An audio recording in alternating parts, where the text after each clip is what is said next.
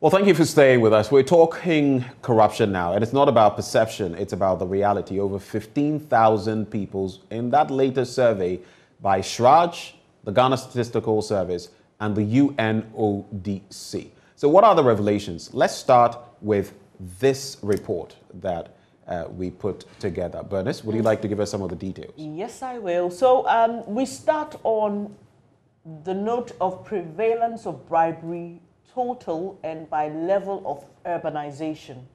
So 83.8% of the adult population had at least one contact with a public official. Okay, and so that's 80.5% uh, rural areas, 86.1% urban areas. So this is interesting. Prevalence of bribery and it's color coded. Okay, so when you see uh, the really uh, dark um, mustard, 30 to 55. Uh, which, which, means there's a, a, higher prevalence rate there. Exactly. In fact, the highest according to this chart. Exactly.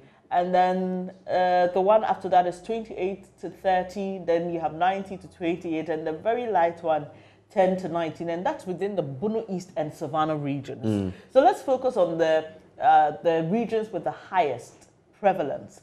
Northeast, Bono Ahafo, Ahafo, Western North, Western and Greater Accra. I would have been no, surprised. No, no, no surprises about the Greater Accra region. Yes, I would have been really surprised. Especially because of the concentration of a lot of our, you know, public institutions. Definitely. So, uh, so let's move on to the next one. The others, Eastern Ashanti, well, they, they're in the middle there. So, but, but, but, but, but, there's a bit of a surprise. If we could yeah. go back to the previous slide just mm. briefly. The Ashanti region. Mm -hmm uh, is, is uh, I think that is 28 to 30. Well, it's still high, mm-hmm. but I thought it would be the much closer to. It's not 28 to 30, it's actually 19 to 20. Uh, that's what I'm reflecting on, whether it's 19 to 28 or 28 to 30. But I found that interesting because of, uh, you know, they are the next yeah. biggest, biggest, in terms of. Yeah terms of well, the, the, the, the, the city, Kumasi, is yeah. our next biggest city, yeah. or, and then in terms of administration and all of that. So I found that to be surprising, which, which is quite a positive for the Ashanti region. Yes, it is. Mm. On to the next one now. So the other interesting point has to do with the, the age age grouping. Yes. So age 25 to 34 are the age group most likely to paying bribes. Are you surprised? to 34, I'm not surprised. This is the active group. A lot of people in this age group would be looking for, for jobs, jobs would be trying to get around the system to get mm. maybe a Ghana card or yes, something. Yes. Like people around this age group are active, mm -hmm. and I'm not surprised they are the ones yeah. paying, you yeah, know, most likely to pay bribes. Are thinking alike. So or maybe even get into an institution. Mm -hmm. So the lowest figure has to do with 65 plus. By then you're on retirement, mm. you know, you're sitting at home cooling off. The engagement between such people and public officials is very minimized, so it's not surprising at all. And then you have uh, the 18s to 24, 23 to 9%, 35 to 49, 28.9%, and 50 to 64, 24.2%. Okay. People with the, this is what it gets really interesting, Benjamin. People with the highest level of education are 1.7 times more likely to pay bribes than people with no formal education. It also comes down to interaction, okay? Yeah. So you're talking about people who are interacting with the Lands Commission, who are interacting with the uh, police, who are interacting with public servants, with the GRA. The, you the, know, so you'd, you'd, you'd usually expect that such persons are educated. And uh, so uh, the figures are interesting there, but it gives you, it breaks it down further uh, where 23.3% uh, no formal education, you know, in terms of percentage of people likely to pay a bribe. Primary education, 24.2%. Secondary education, education 27.4%. Post-secondary non-tertiary education, 27.4%. And tertiary education, 4.6%. And we've explained why uh, this possibly reflects this way. Hmm. Now it's interesting, right? We're looking at the average number of bribes paid in 2021. And it's, it's, it's startling. More than 17.4 million bribes were paid in uh, 2021. And of course, the urban areas 4.8, with the rural areas paying 5.4.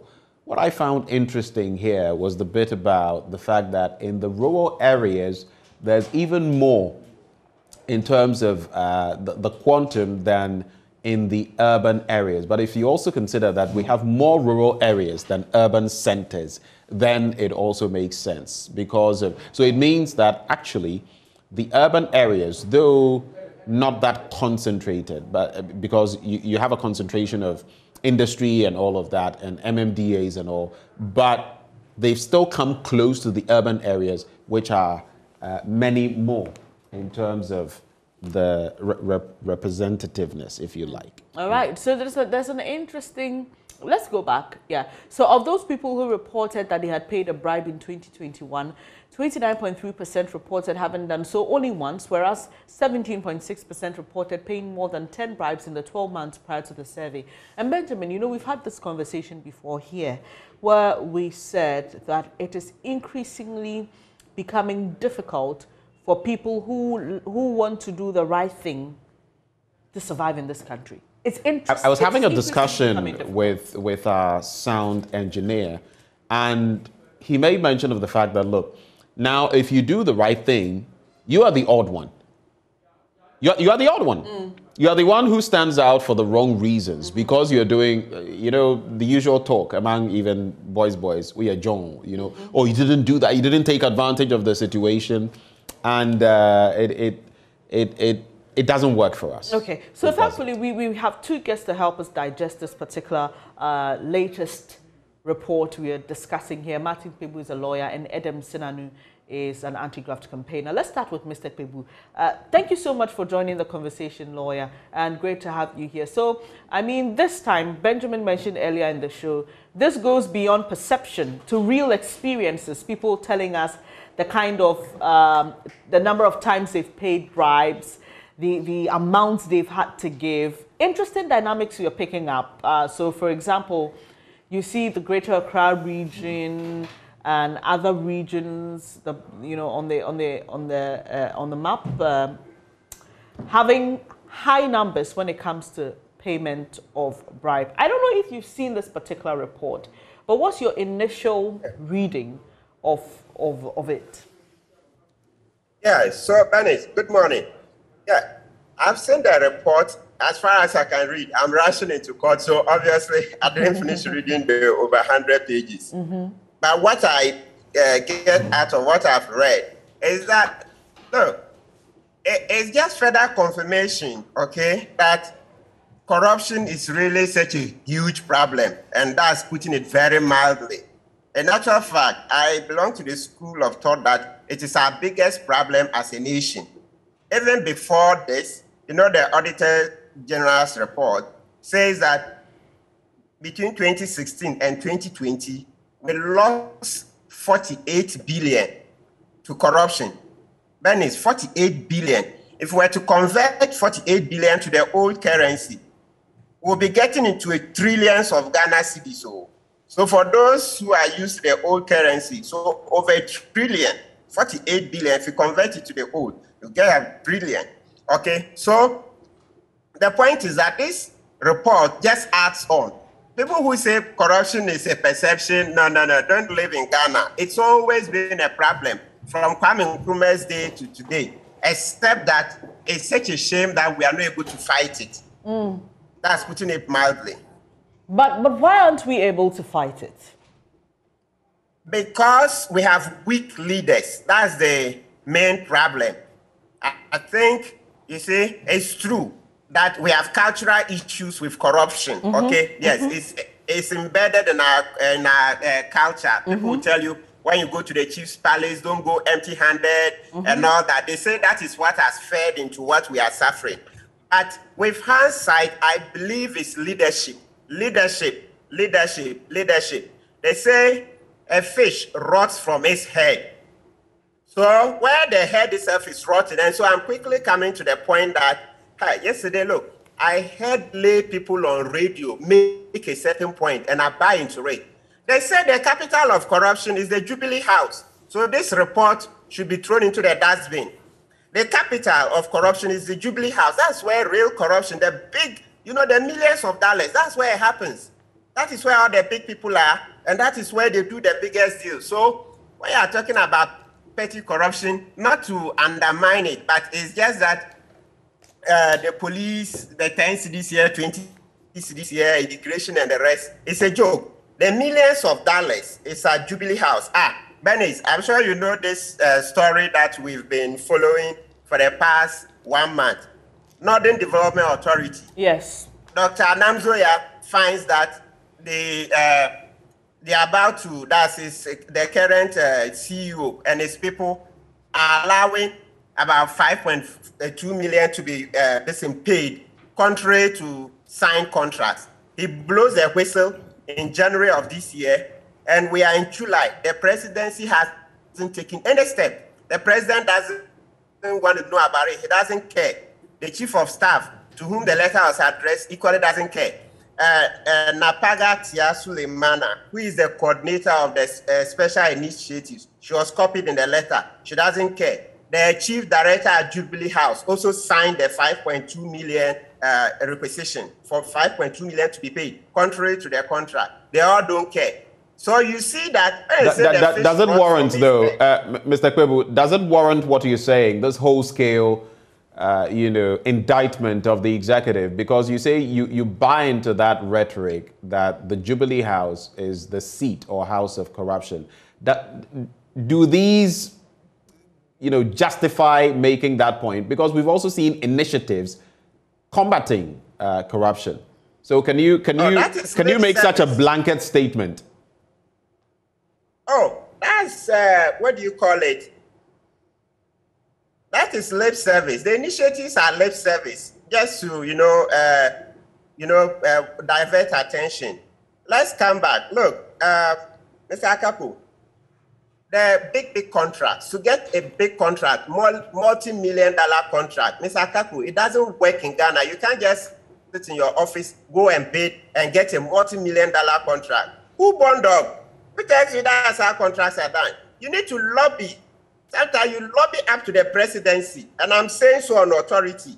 Mr. Kaku, I am saying so on authority. You think the big, big contracts, $100 million contract, even 50 million, some even as low as 5 million, 10 million. You need to go lobby there. That is the citadel of corruption, please. There's no argument about that. Mm. Anybody who wants, as I told you, I'm going to court. We can have a full debate. Maybe you can prepare, say that, okay, in two weeks, let's have a debate on corruption. Let's gather all the evidence and come. Hey, Mr. Akakpo, have you forgotten the Ameri deal? Agyarko, uh, was going to sign the, this, and he advised the president to pay 850 million. We're going to sign a contract for 850 million dollars. When thankfully somebody leaked it, what did the president say? Because they were caught pants down. Then he said, "Oh, they were uh, mis- uh, this ill advised. He was wrongly advised. Well, is that not Jubilee House? Had not been for the whistleblower, 850 million dollars. That's how much we're going to pay didn't it take a whistleblower to bring it out? Okay. And then you have uh, the Auditor General, Domelevo, where he came, his first major achievement. Public servants, and there were people also from Jubilee House involved, were going to steal $1 billion. dollars. Even the president himself acknowledged it. Public servants, some of them at Jubilee House involved, we're going to steal $1 billion. It took Domelevo to intervene, and he caught them. So we can go on and on and on. There are other examples. Mm. And I've told you currently, six months, we have shown the president evidence that, look, people are about to take about $5 million illegally out of the public purse. The president say, oh, please, I'll have nothing to do with it. I don't care about your public purse. Hmm. So, Mr. Akakpo, we are justified, please. Mm, lawyer, so we have a big situation on our hands. I remember about a year or two ago, the NCCE started an initiative to go into schools to try and build values in the younger generation so that at least if, if, if, if the older generation um, don't want to really solve the problem by instilling certain values in the younger generation, we can correct the wrongs. Um, just a week ago, we know that um, there was a paper cancelled in the School of Law due to leakage. Um, people go to take exams in the medical school, there's leakage. It appears that we are a valueless society and we are driving ourselves into a ditch. Who then can help us? How can we save ourselves? The leaders aren't helping. The people themselves do not have any values to, to help us get out of this mess. It appears we're just, you're just going with the wind. Yes, I like that. The last one, just going with the wind. But Bernice, the saving grace is that, like you guys are doing now, I see there's a new resolve by our society to fight this canker, just like you're doing now. You see that, I'm sure if we check within the last one month, this topic would have uh, this has been discussed before. All right, meaning within the last one month, you did something like that, and today it's back on the front burner, front and center, right? So I am optimistic that the way young people are interested in fighting this, you see, Edem Senanu is coming, and sometimes when I listen to Edem, I'm like, God, when is when are we going to give people like Edem the opportunity to control the affairs of this country? Because I listen to Edem and I'm like, oh, this man, eh. because you see, sometimes yes, somebody will tell you that talk is cheap. But other times you listen to some people and you're like, no, this one will do it. So young people need to come together. Let's form more fan clubs, anti-corruption, like Edem is done, and so on and so forth. Then let's begin to give more time to this. Like I've told uh, the story about the NDA, how the president is going to sleep, chief of staff to whom even the letter was expressly addressed, she's gone to sleep. Then Frema Osei-Opare, how can she do that? And she's still in office, where we expect that she should have gone by now, she should have resigned, the president should have resigned, Bawumia too should have resigned, and they are in office. So I think that let's gather more young people to join in the fight. Because listen, if we were to keep quiet, it will get worse. Mm. If we were to keep quiet, it will get worse. But, but, but lawyer, hasn't, hasn't that been our story? Sorry to interject. I mean, I, I have been doing this job sitting here for at least four to five years. And we've been talking about this, not to, not to demean the efforts that you and other persons have put in in dealing with the fight against corruption. We've been talking a lot about this, but it appears to be getting worse by the day. And, th and that's why I'm saying what can save us? What, what can we do? We read about other countries where there are really drastic penalties for persons caught in corruption, like being killed. You know, I mean, that's extreme. But you ask yourself, yeah. at this point of, of, of the life of this country, what can save us? We've tried talking, we've tried education, we even have laws, but we are still here. Yes, uh, Benny. Yes, but we have to continue talking. Everything uh, starts with a conversation. Then we get into action. So, like I said, let the young people, like you've done. So maybe you know the last time Captain Smart led a demonstration on anti-corruption, right? Okay, so this is 2022. Let's do one. Let's organize one in the uh, next month. Uh-huh, and good. Uh, you know, about two weeks ago, the CSOs came together CDD, Imani, Occupy Ghana, myself, Samson Lardy Anyenini, Lawyer Akoto Ampaw, Professor Kakari, and so on and so forth. So the CSOs have come together to fight this problem, corruption, and other ones. So maybe you guys should join in. Radio, I, I think the Joy FM are you already part? Well, uh, it appears so. So we will be rolling out more programs. We'll be rolling out more because, Bernice, like you said, other places, people were killed. In Ghana, we also kill, yet corruption hasn't disappeared. So killing is no longer a solution. Okay, you remember when TK came? Uh, let the blood flow. Didn't uh, he kill uh, for, uh, how many? Three former uh, head, heads of state and all that. Okay, so we've tried the killing and it didn't solve it, though it brought it down. So I'm all for us continuing the fight. And then it's good. I wanted to even reach out to Raymond Akpa, since uh, we are doing this. Let me bring this in now. Bernice, I think it will help our society a lot if you guys will do a documentary on, on the people who have been convicted so far for corruption and causing financial loss, especially, you know, the first, uh, during the Rawlings regime, when he was leaving, when Kufuor came into office, you know, Minister of Finance, Kwame Peprah, Minister of Agric, Ibrahim Adam, Payanki, and, and another person, right? They were convicted. Recently, remember Abuga Pele, mm. and so on and so forth. You see what uh, Adamu Sakande did. Maybe we'll just that's widen it to politicians who have done ill and were, uh, listen, jailed, convicted for their crimes. Mm. Let's do a documentary on that.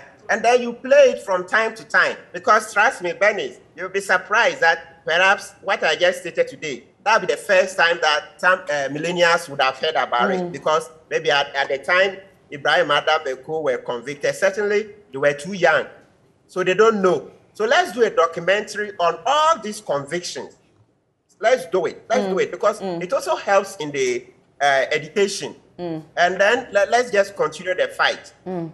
So, uh, finally, from me, uh, lawyer, on this, there are those who say that you can't win the fight against corruption until you have a holistic approach to total well being. So, some, some justify the action by police officers to say, look, their salary is very meager, okay? So, um, some of them use it as an opportunity to support their, their very meager salaries. There are those who suggest that, look, there, there are no jobs, so people must pay their way into the very little space that we have. How do you think we should tackle these contributors to corruption so that we don't focus on the branches of the problem and leave the root cause? Okay. Yes. So the uh, from what you said, it's holistic. I think actually we are currently doing the holistic approach because as you and I are talking right now, there are even more, uh, what do you call it, public officers in court now being prosecuted. Oh, we even forgot. Do you remember about uh, a year, a year and a half ago, the NCA matter? That's uh, Tetevi, Alaji Limuna, and Co. were also convicted, the NCA, causing mm. financial loss the NCA case, right? So let the prosecutions continue. Right now, you and I are involved in educating the public, mm-hmm. okay? Mm-hmm. And that's another part. Then you look at issues of uh, um, ghost names. Certain initiatives have been rolled out. So we are doing it, but it appears we don't, is the education that's rather not enough. What about and looking at, perhaps we should. Sorry, lawyer, what about looking Sorry? at, what about looking at what people earn as monthly income? What about looking at tackling the issue of job availability? So you don't have a situation where people have to pay their way into job job uh, uh, office or people have to justify what the police do by saying, but they, you don't even pay them a lot. And there's so much happening in the country and they need to sort themselves out. So if they catch somebody doing the wrong thing, they'll just say, look, the, the legal system is even stressful. Give me something and let me let you go. Okay, great. Let's do the police and the rest. I think we should stop uh, listening that they are not well paid. Dennis, nobody is well paid in Ghana. So it's not an excuse. Because if we were to say that everybody should be paid what he, he really deserves, then there will be no money to pay anybody. So please, the police, if you mention that, I mean, mention the police as an example, at least they are earning a living. Dennis, you know the number of graduates, people who want to work and they are not getting work. So we are coming to the second leg, which is unemployment. So if you look at the millions who are ready to work for the pay that some people are saying is not sufficient, please, we can't continue saying that people have not been uh, well paid. So it's a reason for them to do uh, this involved in corruption. And let me quickly mention this. I heard when this report came out, I heard some radio stations making the same point, and they are referring to just public officers' salaries. They don't know their allowances. They don't know the allowances that add up. So please, before anybody comes to say the public officer is not well paid, be sure you know, apart from his salary, all the allowances. And I want to repeat with all the energy I can master, all the allowances. Be sure you know that before you come and sit and just mention the person's basic pay and say that, oh, then that means that it's not well paid. So let me be specific. Somebody mentioned that in the military, the highest person is paid 4,000 something. Let's say it's not more than 5,000. And he was talking about only basic. He hasn't talked about allowances. So please, let's stop uh, this misleading citizens. Yes, we all accept. Me too, as a lawyer who says I'm well paid, but we are all managing. We are all managing, so that's not an excuse. Let's come to the second one. Yes, unemployment is such a huge problem. You know, because of that. So yesterday, when I uh, joined Arise Ghana at the public forum, I I called on the president to resign. Yeah, Bawumia, because the production, we're going to produce so much that we don't need to tax. They came in and they are taxing and taxing and even taxing uh, this uh, money in our pockets, e-levy. I say, yeah, sika so come there. Say na sika na no can sika e we bottom. Mr. Kpebu. The money in our pockets already, money we've already paid uh, taxes on is what is being double tax. So, all right, so I need to enter all right. right. I'm grateful for your time. Thank you so much for making time to join us. That was Martin Kpebu the end. Right. Rather uh-huh. interesting note. I see they said they said uh, Yetisikaso. Yetisikaso, but they meant to tax the money in, in our, our, pockets. pockets. The yeah. one already. Very, very, okay. Let, very let's interesting. Let's let's bring in Edem Senanu, an anti-graft campaigner. Edem. uh, you've been very patient. We had to uh, do this to allow uh, lawyer Kpebu to also get to court. Uh, but thank you for being so patient with us. It's interesting on the back of our engagement yesterday for that IMF program and why we keep ending up, you know, going for that facility, for example, the bit about corruption. Now, what is your general overview of uh, this latest report, considering that in 2014 we came up with our National Anti-Corruption Action Plan? It appears the action is not actioning. Um, I think to put it into context, the five billion figure, uh, it hits me. I mean, it's, it's part of the fact that this is nothing new. We know there is uh, corruption going on. I, I, mean, that, that, that, is, that is more than what we are hoping to get from the e levy. Absolutely. Absolutely. It hits you. I mean, as a research work done with the Ghana Statistical Service, where we talk about actuals, um, we've always said that look, perception-based indexes give you a very strong indication based on, on the methodology of what is going on. But now we have the facts, and the facts say that as much as five billion. It tells you that this is widespread. It tells you that we need to look at ourselves more seriously as a, as a nation, and uh, we probably shouldn't be using and focusing on one or two key ways of addressing this, but much more holistic in thinking through how do we nab this? And I think that we probably need to go a little more below the surface. Um, why are Ghanaians not reporting? What can we do to make sure that there's protection for whistleblowers and, and, and you know witness protection is more effective? What can we do to speed up prosecution so that this is truly high risk, you know, low gain? Because at the moment it's low risk, high gain. Um, and I think that we have the brains to think a little more creatively to get solutions that work. Um, I heard Bernice, I could hear her, her cry, so to speak, that look, doesn't look like anything is changing. It's been four years sitting at this. I think it's also good to put it into context. If you look at the countries that have made progress in terms of democracy, they had about 200 years of building that, uh, I don't want to call it animal, but that system for it to work for them. And perhaps we need to juxtapose where we are now as a country with other countries and what they went through to get to the point where they have systems that work.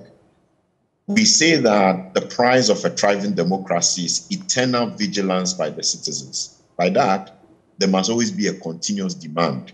And so, those of us who are here and understand what is going wrong need to hold hands. We need not to despair. We continue to think and see what we can do much more concretely to get the results that this nation needs. And those would be my preliminary remarks. I want to avert your attention to page 12. I know you've taken some uh, look at the report. It's a pretty lengthy report. It will take time to digest, over 100 pages, but I'll pick and choose between the pages for relevant content. When you look at page 12, contact rate by educational attainment, I'll link that to the actuals of those who made payments at 2021. So this just reflects the, the contact rate referring to the number of adult Ghanaians who had at least one contact with a public official. No formal education stands at 79.8%. And you would think that is high, but guess what? Primary education, 84.2%. Secondary education, 84.3%. Post secondary, non tertiary education, 89.6%, and then tertiary education, 91.6%. It gets higher as they climb the, you know, the, the educational plane. And that is also reflected when you go to this other slide, and, and that one is the next one, that is page 16 of the report. That one reflects, again, you would see a gradual incremental value 23.3% for those with no formal education, 24.2% uh, for those with primary education, 27.4 secondary, uh, post secondary 27.4, and tertiary 40.6. You know what this tells me? The better educated our people are getting, we're basically breeding educated criminals in, in the country. And how does that reflect, Edem Senanu? I'm giving you my final bit here. Because again, when you look at the average bribe, bribe sizes, and you look at our institutions, you would see that where we are putting the most educated people is where corruption is happening the most. On top, in terms of figures they give out, Lands Commission. Next, our judges and magistrates and prosecutors. Next, the Ghana Immigration Service. Next, elected local government representatives. Follow that with MMDAs, and the list goes on and on. The educated class has this country in a chokehold in terms of corruption. How do you figure? Well, I mean, it's a fair description based on the facts that have been thrown out by the report. I think that what you are seeing is an educated group who think that there is no other option but to follow the trend. And so it's like this is the norm. Um, the question is, are there options that they could have explored or exploited, um, and that we could then say, therefore, we should not be seeing this trend? And that is why I'm saying, I think we need to think some more about where we find ourselves and what we can do differently. Um, so, yes, the trend shows that as you go up the educational uh, ladder, one appears to be paying more. It probably also is simply to say not necessarily because, because sometimes you need to do an analysis of the factors contributing to this. It could also simply be the fact that um, at the lower level, what they need to engage with public services and similar services for are much less than as you go up the ladder. So the contributory factors to the interpretation would be such that one cannot say that it simply is because they have more education.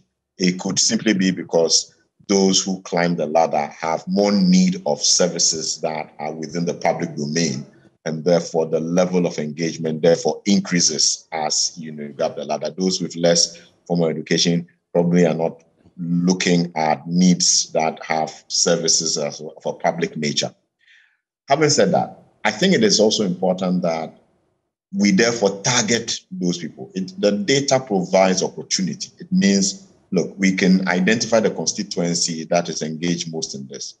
How do we help them to rethink what is going on? How do we make it more high risk, less less gain, more less gain? How do we provide systems where they know that, look, I can still get the result without having to make this payment? And I think that's the fundamental issue. People want to get results and they want to get it timely if they think that the system will not deliver those results without making this payment and they're in a hurry, they are bound to begin to engage in things that uh, ordinarily they wouldn't do if the systems work. So, how do we get our systems to work? How do we get people their results? We probably, as a society, need to think some more about that. And leadership is key. So, if we can identify that uh, it's people going to the police for or going to the DVLA or what is a service that people need what are the payments they're having to make for what services?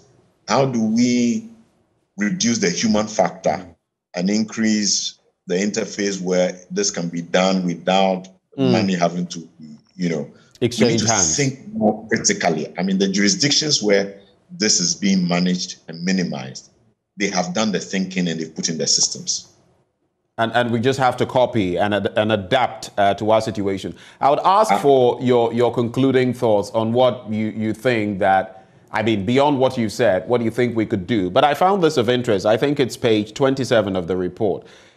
It, it, feeds into what we've already discussed. So, look, when it comes to the contact rate by type of public officials in 2021, at the bottom, you have the National Intelligence Bureau, formerly the BNI. I'm not surprised. I mean, uh, if, if you go on that trajectory and you get caught, it could mean something else. Then the embassy and consulate officers, 0.5%. Interestingly, prison officials, 0.7%. They are from the bottom in that order. But then look at the top in terms of contact rate, you know how our system is no bed syndrome, or maybe you need a pint of blood, you can't get it. Uh, you, you want to get into some academic institution or maybe something else related. You want your grades taken care of.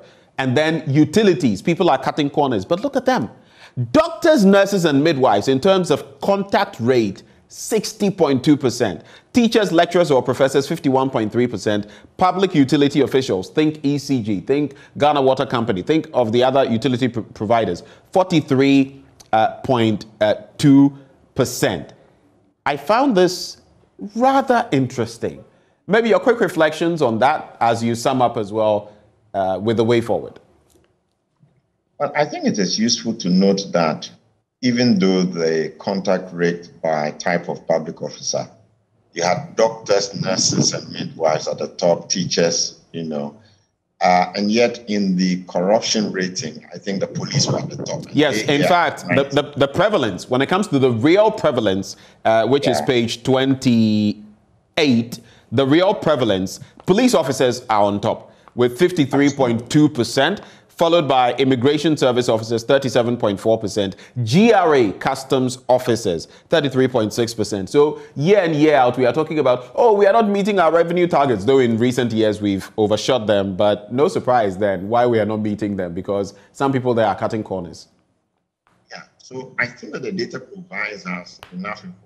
First of all it tells you that uh, in spite of the greater contact that doctors, nurses, midwives have with people, they are not the ones demanding as much money. There's some credit there. On the other hand, it tells you that those who have less contact at 14.9 are demanding more. I think that it allows us for look, if you had enough investigators, you had a fast track court, you have systems in place, you start at the top of those who are engaged as far as this report is concerned in compelling people to pay bribes, etc and go on a campaign. I mean, that is what leadership is about. So if, if government wanted to give a robust response to, for, to this, use this data to inform where do we suddenly crack the whip, put in place systems, grab people, sanction them, demonstrate that we're going to do this sector by sector. We're going to use this report. We can even do it simultaneously across sectors. Let's have some robust responses. That is what leadership is about. Leadership is cause, everything else is effect. If we have good leadership, we can minimize the impact of corruption on the public purse and get much more development for it. And if we look at the issue of, uh, Bernice raised this and I thought it's substantive.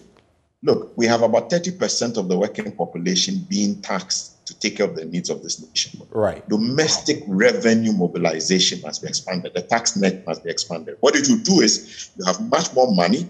You reduce the tax levels on individuals. that have more disposable income. And we'll have a situation where many more people can take care of themselves and families and not be so inclined um, to be bribed or paying bribes, etc. So it's still leadership. All the right. issues we look at, we need to demand much more from our government. And I like the way Martin went about it. No bars held back, just shut at it. We are calling on our presidency. Look, the solutions are there. If we are listening, I think that there are things we can do even now so that we can get some results. Thank you so much, Edem, uh, for joining the conversation and keep it up the drive uh, against graft in our society. We're grateful for your time. Thank you for having me. So we're joined by Martin Kpebu, a lawyer, and Edem Senanu, an anti-graft campaigner. on uh, that. But stay with us. Tomorrow is D Day as we start with the first clinic of the EcoBank Joy News Habitat Fair. Of course, Joy News in partnership with EcoBank, the Pan African Bank, and the Planned Cities Extension Project from Cities and Habitats will make home ownership easy peasy. This year's fair is under the theme Home Ownership Where You Live Matters. At the EcoBank Joy News Habitat Fair, We've got you covered with all your needs from mortgages, personal loans, consumer financing, land acquisition, security, and many more. So join us at the Achimota Retail Center for the first clinic from tomorrow, the 22nd of July, to Sunday, the 24th of July, from 8 a.m. to 8 p.m. daily. There will be exciting uh, you know, activities, including webinars, giveaways, and many more. For inquiries, please call us on 054 690 8179 or 054 011 0389. The EcoBank Joy News Habitat Fair is in partnership with EcoBank, the Pan African uh, Bank, and powered by the Planned City Extension Project from Cities and Habitats, Rent to Own. It's also sponsored by Elegant Homes and General Construction Limited, where quality meets value, Virtual Security Africa, Complete Security uh, Solutions, Superlock Technologies Limited, you deserve the best. DBS Industries Limited, we truly are your roof experts. Duraplast Limited, where Duraplast goes, water flows. And Gold Key Properties, building prestige since 1997. EcoBank Joy News Habitat Fair, where you live matters. And we'll be talking about that up next on the show.